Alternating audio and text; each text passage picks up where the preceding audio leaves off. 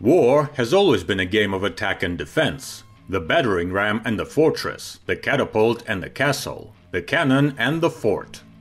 In our time, the fort has given way to the bunker, hidden under a concrete shell and a layer of ground. And perhaps soon, bunkers will also become useless. Today we have bombs for which meters of sand, stone and concrete are simply the distance to the target. Bunker busters are on the horizon. Despite the fact that bunker busting weapons are often presented as some kind of new solution, they appeared immediately after the appearance of bunkers, to put it mildly, not yesterday. Various methods of breaking through very thick walls, even hidden by the ground, were tested during World War I, and then the heaviest guns were responsible for this work, firing the most powerful shells.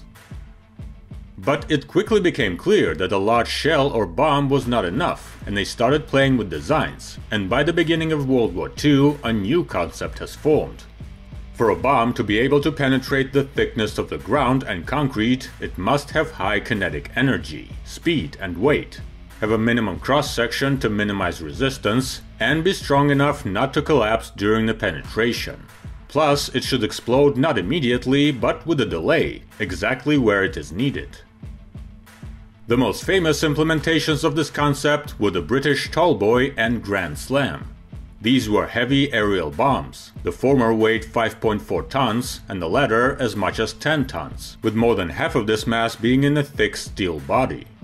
Dropped from bombers from a height of about 6700 meters, they accelerated to supersonic speeds and penetrated several dozen meters of soil or several meters of concrete. They were not precision weapons, but as practice has shown, the bombs hit very close to the target and then exploding caused not only a shockwave, but also an earthquake that destroyed everything around. Therefore, they are often called earthquake bombs. Another interesting solution was the Disney bomb.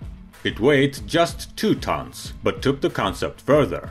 Its casing made of hardened steel was even narrower, and its acceleration during the fall was boosted by a rocket engine. It plunged into the ground at a speed of almost 1600 km per hour and could penetrate a concrete roof almost 5 meters thick, which made it a real scourge of German underground bases.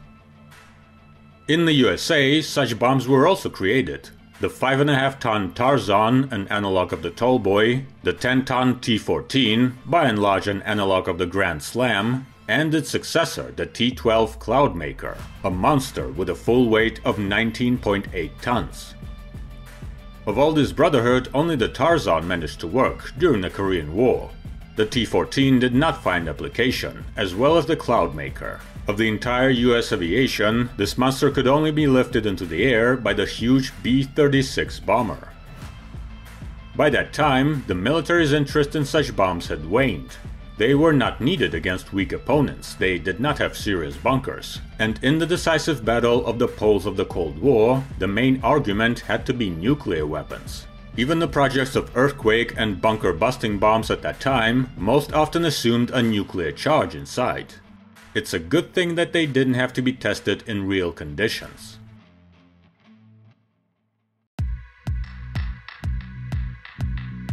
The neglect of bunker busters during the Cold War led to a rather difficult situation before Operation Desert Storm against Iraq in 1991. Bunker building technology had advanced over the decades, and now not only great powers could afford them. Iraq in the early 1990s was a serious force with an advanced military infrastructure, much of which was hidden in a whole network of fortified bunkers. The US and its allies found themselves at a stalemate, Nuclear weapons could not be used. The existing bombs were ineffective against deeply buried underground facilities, and they simply didn't have full-fledged bunker busters. The need for such a weapon was remembered at the last moment, and the engineers were faced with the task of creating it immediately. And they showed all their creative abilities. They did not create the bomb components from scratch, but used what was already there the explosives, fuses, controls and laser guidance from existing aerial bombs, and made the super strong steel casings from the barrels of decommissioned 203mm M110 self-propelled howitzers. Designed for the heavy loads from active fire, the large caliber guns were strong enough to penetrate concrete walls. The project was quite successful. The laser guided aerial bunker buster bomb, called the GBU 28, was created in just a few weeks and quite cheaply. And it was effective. Weighing 1800 kilograms, it could be dropped from a variety of aircraft, carried about 306 kilograms of explosives, and in theory could penetrate any Iraqi bunker. The theory was put into practice almost immediately. During Desert Storm, the US Air Force attacked an underground Iraqi headquarters near Baghdad several times, but conventional bombs were ineffective. Then, a pair of F 111 bombers equipped with the GBU 28s were sent to the target. They dropped two bombs. The first missed due to a targeting error, but the second hit the target. The fortified underground base, which was one of Iraq's key command centers, was destroyed by just one bomb. By the way, this was the only use of the GBU 28 in Iraq. As it turned out, most of the targets were not as radically fortified as the key objects, and they were destroyed by the existing bombs. Nevertheless, the GBU-28 entered service with the US Air Force, were used in most wars of the 1990s and 2000s, and were also supplied to Israel and South Korea.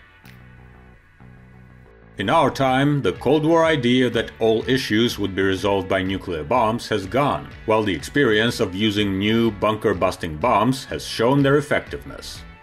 Thus, many countries have taken up this topic, creating their own systems of this type the Russian KAB-1500 of several versions, the Turkish SARB-83 and NAB-84, bunker-busting versions of the European Taurus and Storm Shadow missiles, and a whole string of new American bombs of various versions and degrees of penetration into soil and concrete.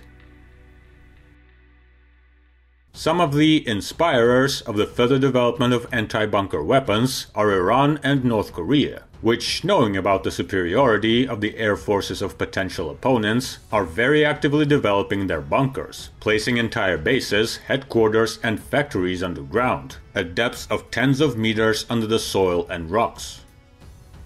Conventional modern bombs are not enough to destroy such powerful targets, and the opponents have gone further. Thus, the successor to the Grand Slam was created in the USA, the GBU-57 MOP, or Massive Ordnance Penetrator. This monster weighs 14 tons and carries almost 2.5 tons of explosives. And here you can clearly see the difference between the MOP and the MOAB, the famous mother of all bombs, about which there is also a video on the channel. Despite the fact that many consider them similar, they are fundamentally different.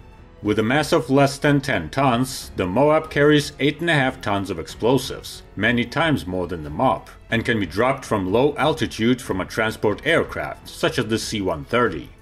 It is capable of creating a huge explosion with a powerful shockwave, but it is not penetrating, works on the surface, and against underground objects it is practically useless. The MOP, dropped from a height of over 10 kilometers, is capable of penetrating 60 meters of soil, the height of a 20-story building, and reaching almost any modern underground facility that could previously only be destroyed by a direct nuclear strike. The bomb was tested on the B-52, but at the moment it is intended to be used only by the B-2 Spirit bomber, with potential adaptation for the new B-21 Raider. If you think this is a radical step, look at what South Korea is doing. Knowing that their northern neighbors have military installations at depths of almost 100 meters, they are creating bunker-busting warheads for ballistic missiles. I talked about the importance of kinetic energy and speed. Imagine what it's capable of if it's not a bomb dropped from an airplane, but a warhead that arrives with a ballistic missile. A kind of modern interpretation of the idea of the old Disney bomb. Moreover, they have a missile project which involves the use of a warhead similar in performance to the GBU-57. Scary to imagine what it will be like. Although it is still necessary to find out whether the bomb casing, even steel, is capable of withstanding an impact at almost hypersonic speed of several thousand kilometers per hour. And there is no doubt they are not the only ones making such things. The race between armor and projectile, bunker and bomb continues. Let's hope that it won't be necessary to test the effectiveness of all this in practice. Write in the comments what you think about this weapon and its potential, and don't forget to subscribe to the channel. There's still a lot of interesting things on the horizon.